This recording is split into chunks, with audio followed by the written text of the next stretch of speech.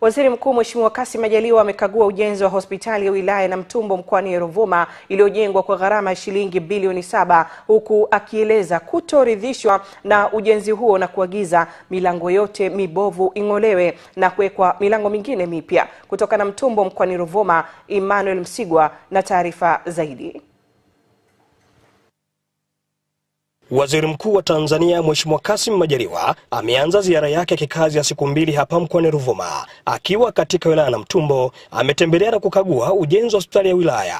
Ubovu wa milango iliyowekwa haikumfurahisha. Funga huo mlango uone. Funga wewe mwenyewe. Engineer kwa sababu Haya, acha. Acha usisukume. Wewe funga tu mlango. Funga mlango. Acha. Funga mlango.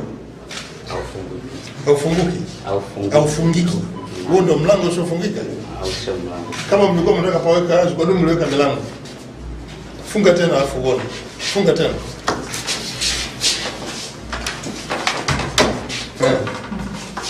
Taratibu gani? Huo ni mlango gani? Hii vitasa ni vitasa sahihi. Mmeweka vanishi sasa hivi, Simuona hii?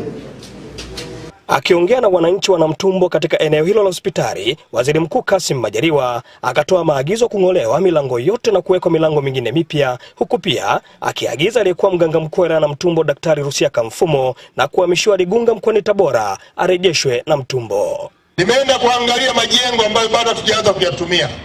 Pale, sijaridhika, sijaridhika. Sasa milango yote ni ya hovyo, na nimeagiza ing'olewe yote, iwekwe milango yenye hadhi ya wilaya. Mganga mkuu aliyehamishwa hapa kwenda kule na mkamleta yule bora, mkamleta hapa, kwanza arudi tumalizane naye hapa. Ana mambo mengi ya hovyo ameyafanya hapa, haiwezekani. lakini nikuthibitishie lile agizo lako la kwanza la kumrudisha aliyekuwa mganga hapa litatekelezwa, na nimeshatoa taarifa kule ofisi hapa.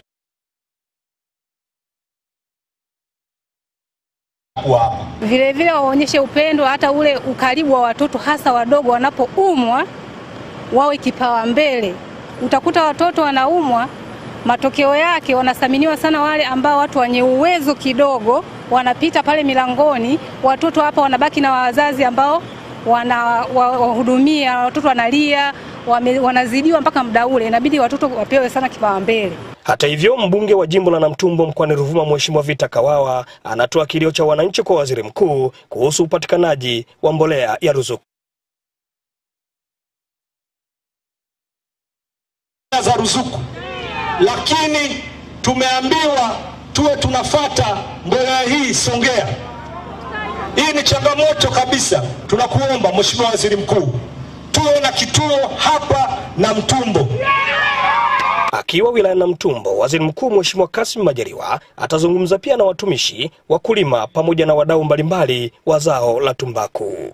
Nikiripoti kutoka katika ziara hii ya waziri mkuu wa Jamhuri ya Muungano wa Tanzania Mheshimiwa Kassim Majaliwa katika wilaya hii ya Namtumbo, ni mimi Emmanuel Msigwa, ITV. Asante Emmanuel Msigwa kwa taarifa hiyo.